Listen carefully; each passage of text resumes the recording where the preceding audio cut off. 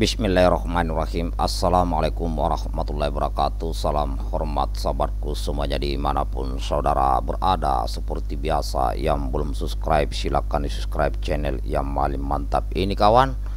Dan saya berpesan kepada sahabatku Jika menonton sebuah video Tolong ditonton sampai habis biar tidak salah paham.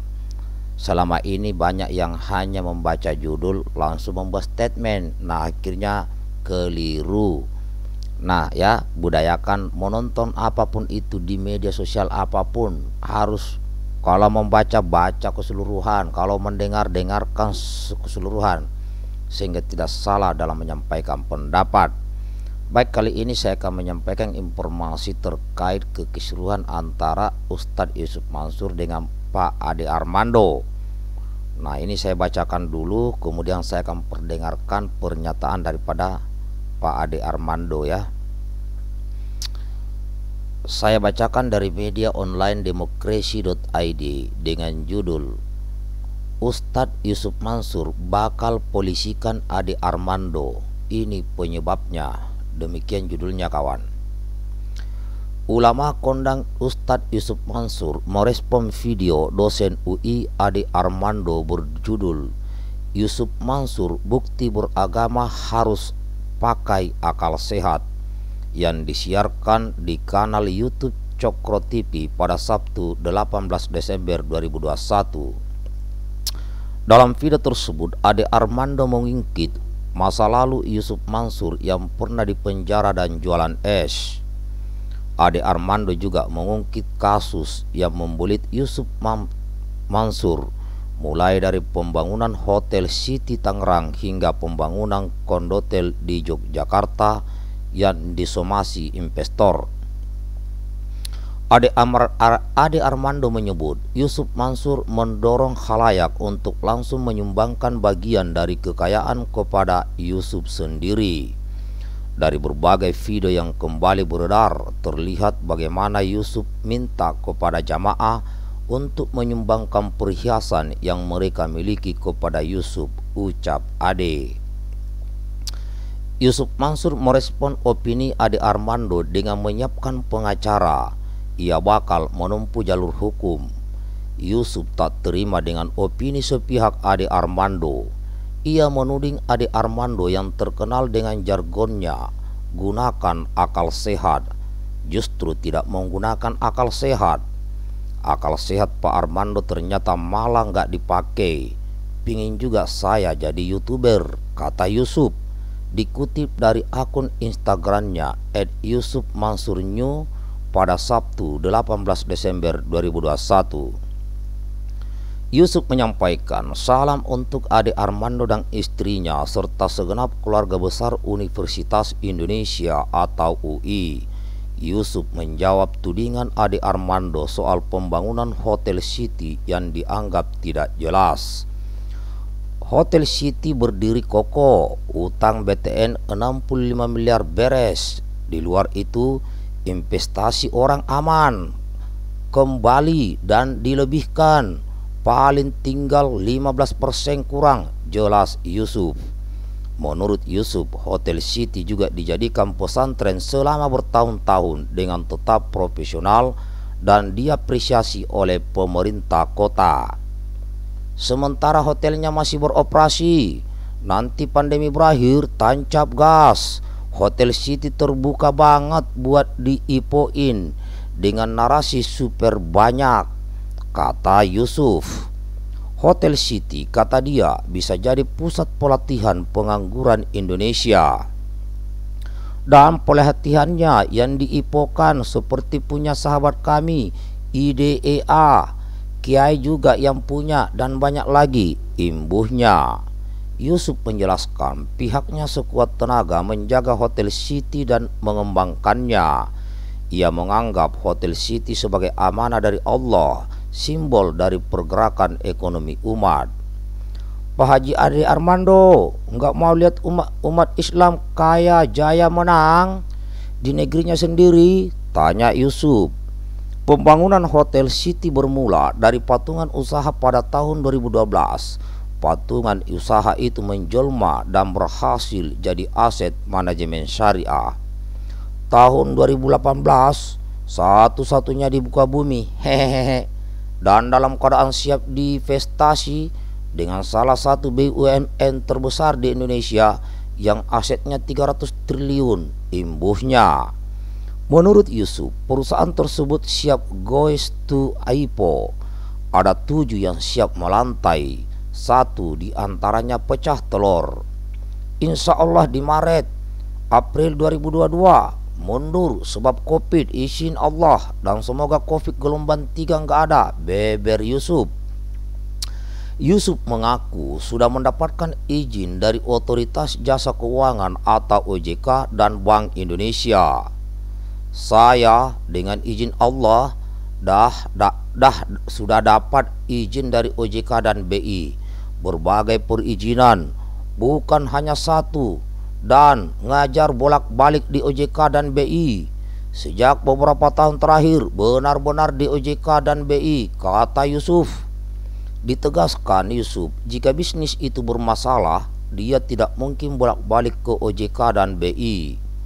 Kalau bermasalah, lah saya udah datang ke sana terus-menerus. Tinggal tangkap aja kali. Kali aja mau riset, jelas Yusuf. Yusuf menyindir Ade Armando yang sering menggunakan jargon gunakan akal sehat. Saya nggak tega make kalimat ini. Mbok iya dipakai akal sehatnya. Saya belum diajak ngobrol. Ya kok udah tayang seperti itu. Bapak Haji Armando tahu WA saya. Sesekali mah pernah WA-an. Inikah akademisi? Sindir Yusuf. Menurut Yusuf, Opini Ade Armando di kanal YouTube Cokro TV akan dijadikan sebagai bukti untuk melaporkan dosen UI itu ke polisi. Insya Allah ini juga dimasukkan ke tim lawyer dan tim cyber, di arsip dan di profiling.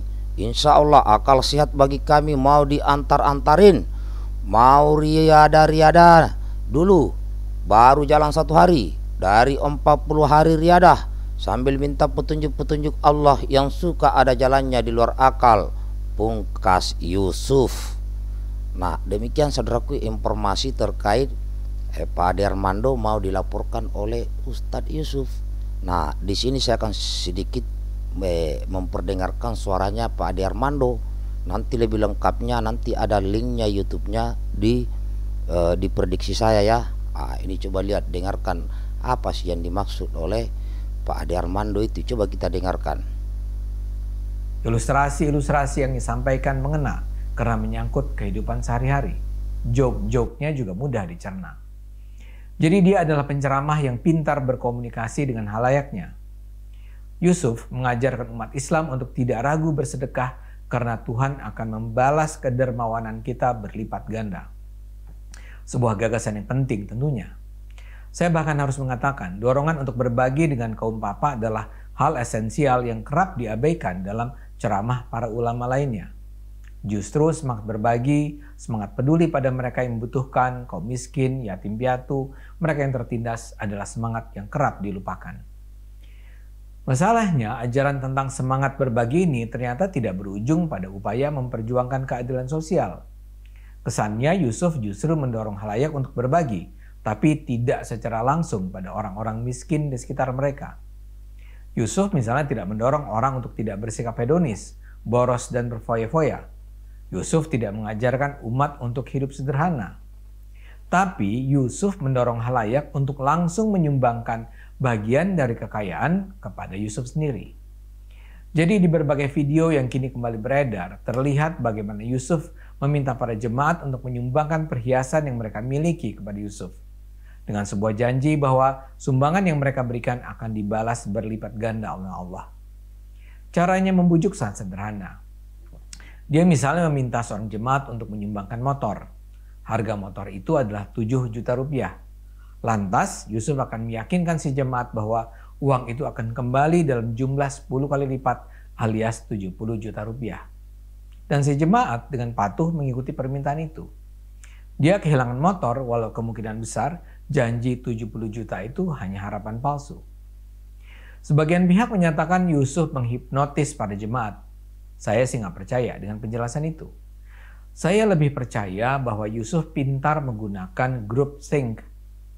Ketika kita berada dalam satu kelompok masyarakat dan kita harus mengambil keputusan cepat, kita akan cenderung mengikuti apa saja yang dilakukan mayoritas orang dalam kelompok tersebut.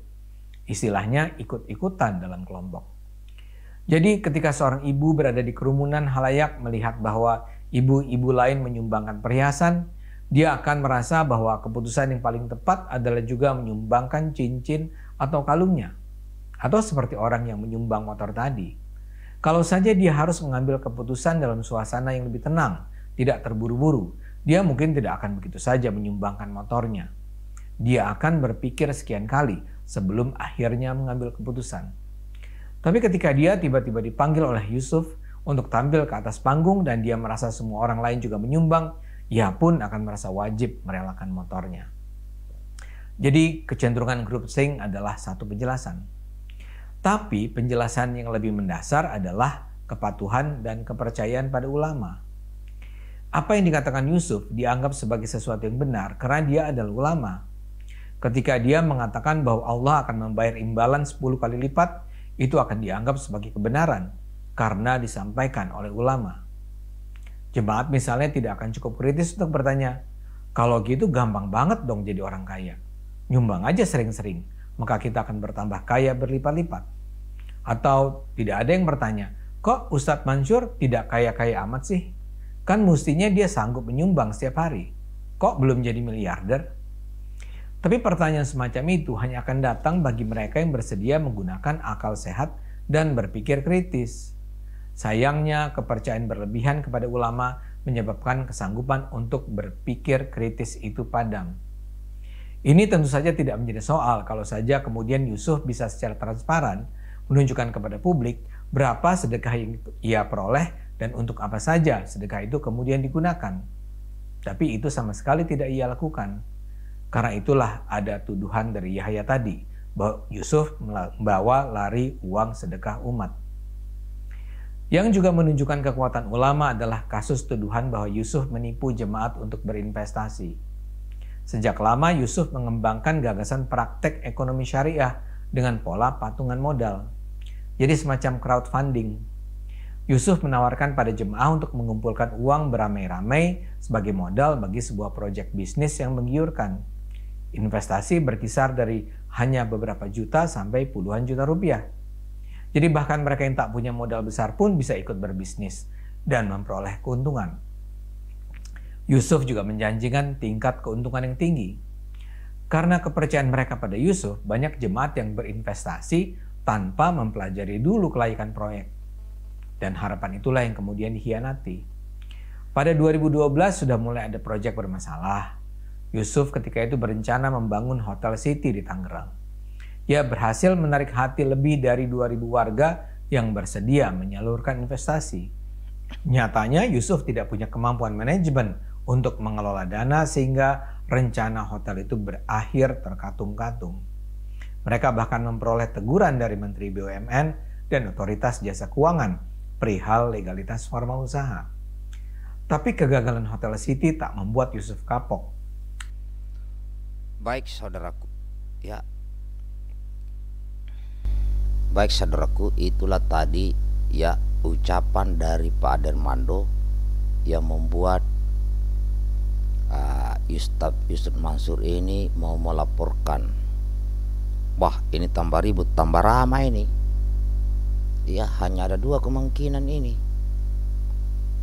Ustadz Yusuf benar atau semakin terbongkar sesuatu yang belum diketahui publik kita belum tahu kawan Nah, untuk mau mendengarkan pernyataan Ade Armando yang lebih utuh, silakan masuk ke ada link YouTube-nya di prediksi di ya, di prediksi saya itu ya atau yang sudah uh, ikut ke YouTube-nya eh, Cokro TV ada di sana itu. Kita tunggu aja ke depannya kawan karena banyak sekali beredar ini. Selamat menonton bagi yang ingin memberikan tanggapan atau masukan atau pesan di kolom komentar video ini saya berpesan hindari kebencian, hinaan, cacian, makian, merendahkan, meremehkan. Hindari semua itu kawan.